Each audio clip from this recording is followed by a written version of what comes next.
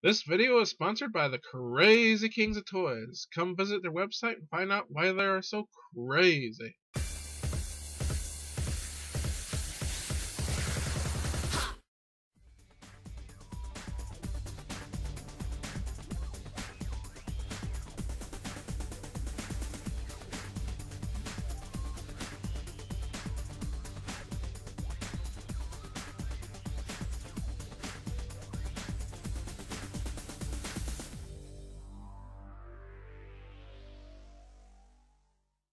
Hello everybody, Tony Beers here again, and this is Off the Toy Shelf, a toy review show. And in this episode of Off the Toy Shelf, I'm going to be talking about Captain Boomerang. Captain Boomerang was a boy named Digger Harkness who was raised by his poor mother in Australia, not knowing his father. As he grew up, he became very skilled in using a boomerang. Later, he learned his father owned a toy company in America. His father, learning of his boomerang skills, brought him to America where he made Digger the mascot of a new boomerang toy, calling him Captain Boomerang.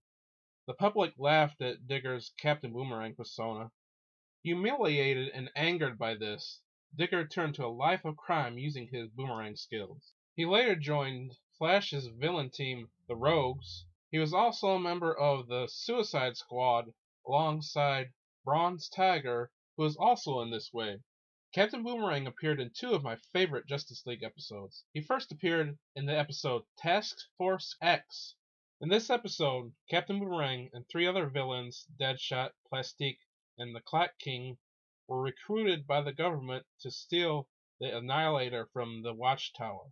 The episode plays out like a heist movie, and even though Task Force X are the villains, you still root for them and hope they succeed.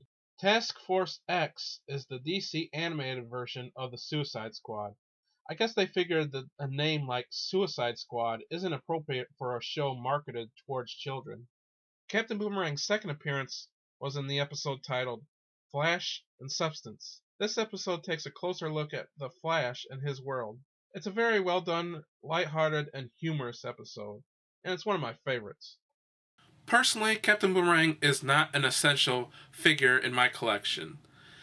And if it wasn't for the fact that he has an Apache Chief figure piece, I wouldn't have got him. Now, it's not because I don't like the character, or it's not because I the figure is not well made. It's because I feel neutral about the character. I don't love him and I don't hate him. So I could just I could do without him. One of the reasons that I don't find him essential is because I don't like his costume. With the hat, the long coat, and the stubble, he kind of looks like a homeless person. His costume looks too plain to me. I don't like superhero or villain costumes that look like they just grabbed it out of their closet. Other examples of this kind of costume where it looks like they just got it out of their closet is Superboy in his black t-shirt and jeans, animated Supergirl in her first costume, the second Starman, and Luke Cage. They just don't look right next to other heroes and villains. In my opinion, Captain Boomerang's best costume is the one that they used in Flash and Substance on Justice League, and this is the same costume I would have chosen for the figure.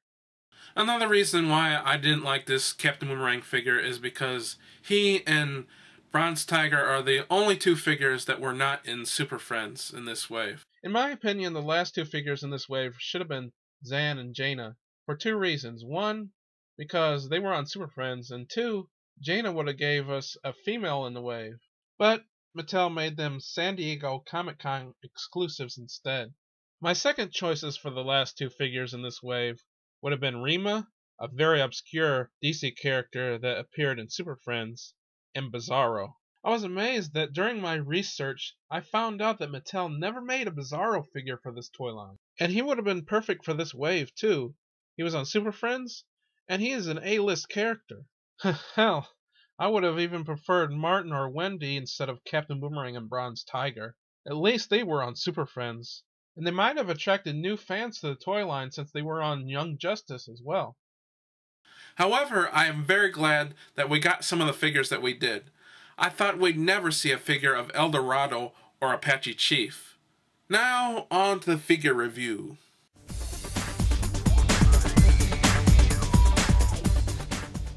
Okay, let's take a look at Captain Boomerang in his package. As you can see, Captain Boomerang is in a cool action pose, and he is in a nice clear bubble which makes the entire figure, as well as his boomerang accessory, easily seen. This is great for in-package collectors. Behind the figure on the card you can see nice artwork of other DC characters. At the top of the package is the DC Universe logo. In the middle on the left is the choking hazard warning.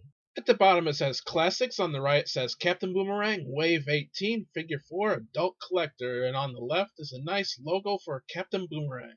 When I turn Captain Boomerang's package to the side, you can see it says includes your collect and connect figure piece, and it tells you which figure piece you're getting, and you're getting the head and lower torso of Apache Chief. And it says the exact same thing on the opposite side. And when you look at the bottom of the package, you can see Apache Chief's head and lower torso. At the back of the package, at the top right, you can see Captain Boomerang's biography, and on the left is a nice photo of the figure. And below Captain Boomerang's biography is his statistics. And at the bottom, at the left, is all the other figures in the wave, and on the right is the Collect and Connect figure, Apache Chief.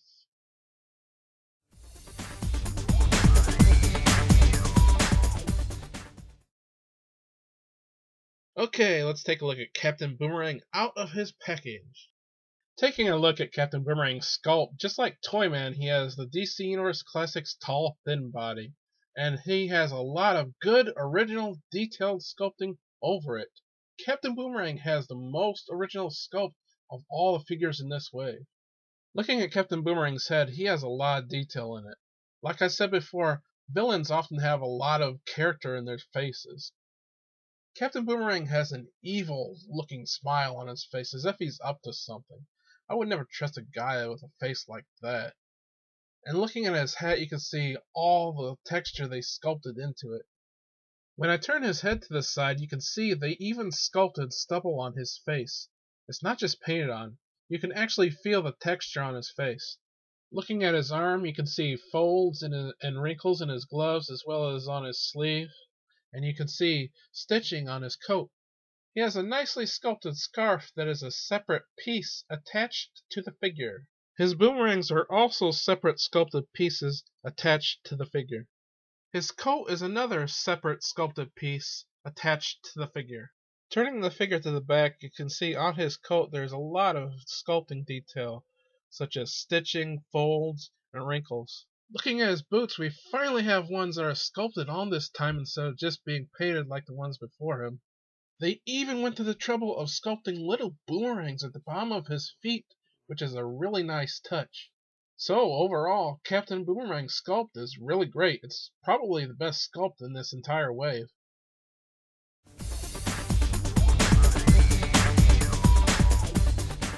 Okay, let's take a look at Captain Boomerang's paint. Captain Boomerang's gloves are painted with this nice glossy black paint which does a great job of representing leather. The black part of his boots are also painted with this glossy paint. The silver part of his boot is painted with a nice shiny silver color but is not as glossy as the black part which gives a nice distinction between the metal and the leather part of his boots. His boomerangs and belt buckle are painted with the same shiny silver paint as his boots. However, I have to say that the boomerangs have a kind of a sloppy paint job. Also, his boomerangs are not painted on the other side. So overall, aside from the boomerangs, Captain Boomerang's paint job is fairly good.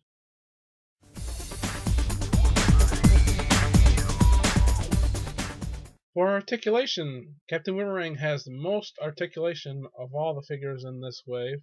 His head is on a standard head joint and it goes up and down and all the way around.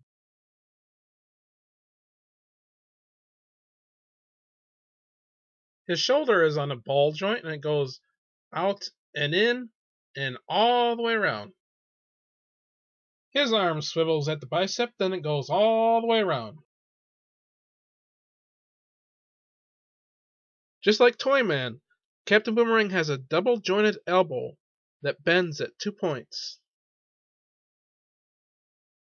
His hand swivels at the wrist and it goes all the way around. He has an upper torso ab crunch joint that moves back and forth. He has a swivel at the waist that goes all the way around. He has a hinge joint at the hip that goes out and in and back and forth. His leg swivels at the thigh and it goes all the way around.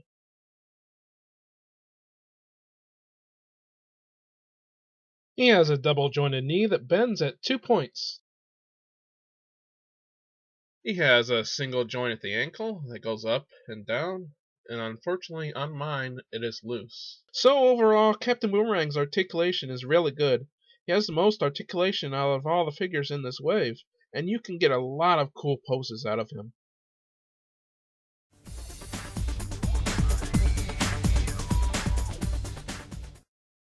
Captain Boomerang comes with three accessories, and the first, of course, being a boomerang.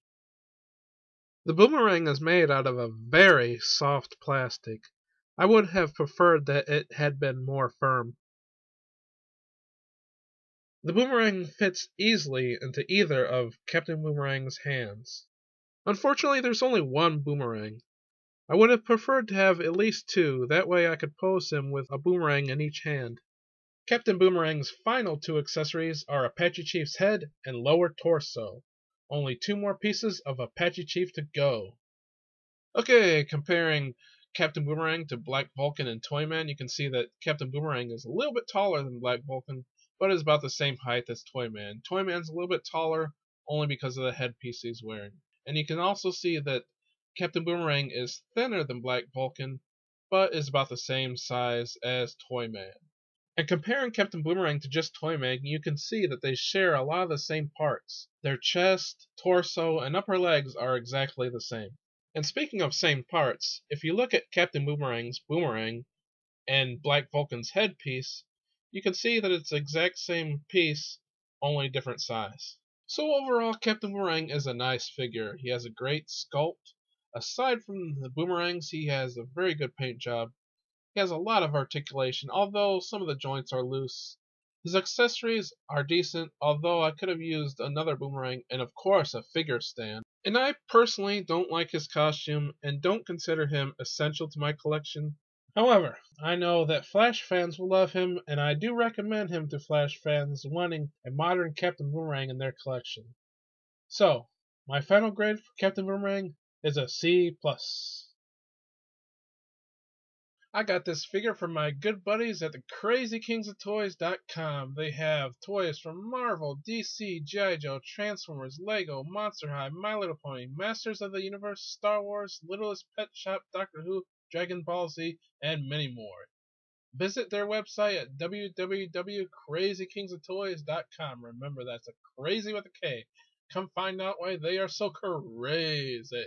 I'm Tony Beers, and I'll see you next time.